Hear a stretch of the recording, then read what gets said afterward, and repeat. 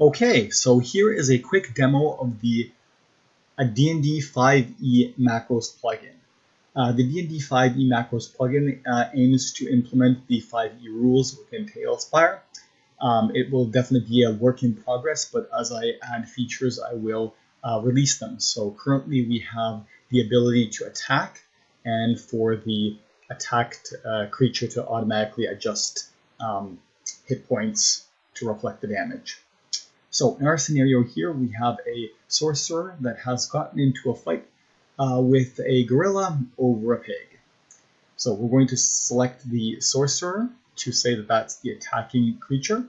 We are going to right click on the gorilla and then select the new attacks uh, uh, menu selection. Uh, eventually I'm hoping to be able to get rid of the old um, core attacks menu, but um, that isn't working at the moment. So I select the attacks menu. I get my uh, selections.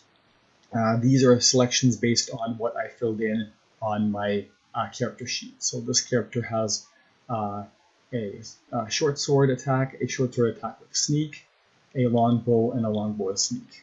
So we'll uh, assume that the sorcerer got the drop on the gorilla, and we're going to use our short sword and sneak.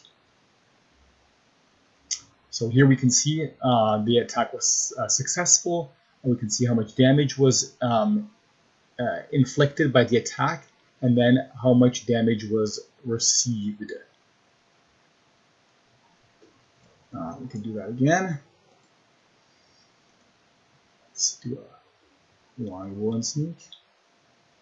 And you can see here that we missed. There was an animation instead of the funk in the head.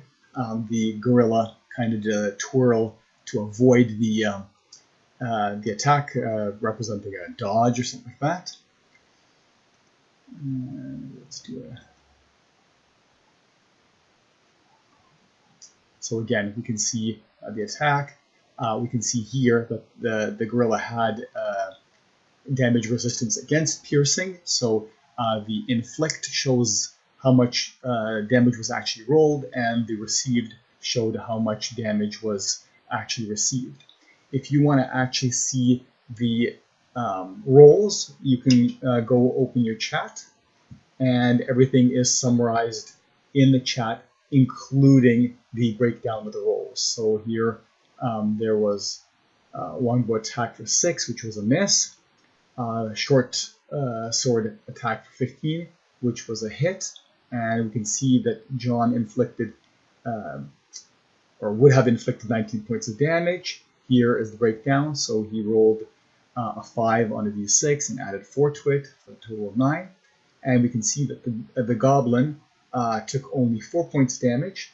Uh, that would be the 9 multiplied by half because he has resistance to piercing. And that's pretty well it. Uh, we can also see that um, the hit points have gone down uh, on the victim accordingly and um, uh, so that is being done automatically. Uh, we can also demonstrate that uh, because the gorilla is an NPC, um, it doesn't show things like the AC or how many hit points the gorilla has left, um, because players wouldn't necessarily know that. Um, but if we do the attack in reverse, if the gorilla attacks, that's right, if the gorilla attacks, and let's say it's going to use a spear, that was a miss, we can see here that um, in reverse, it was showing, for example, the armor class uh, for the player. Um, the player would obviously know that, um, but it's a, it's a reminder there um, because that would be um, knowledge that the player would have. Uh, similarly, uh, if the attack was actually successful. Wait, doing that in the wrong order. Um, if the attack was actually successful, which this guy is apparently not a very good hitter.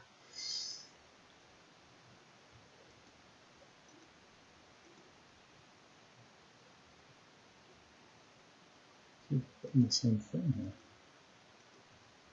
There we go.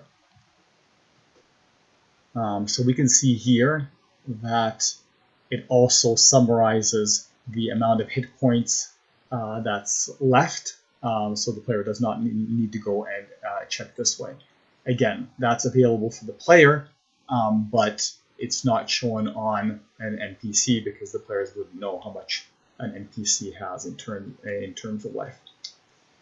And that's pretty well it for now.